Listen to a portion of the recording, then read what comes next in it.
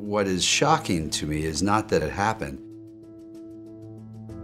but that it continues to happen and it's been happening for five years.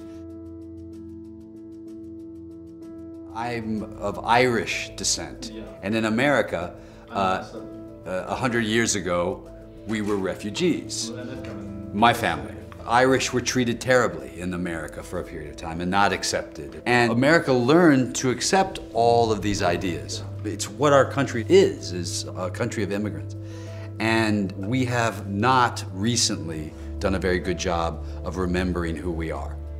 And being here and talking with you is important to remind them of who we are and who we have always been, which is you.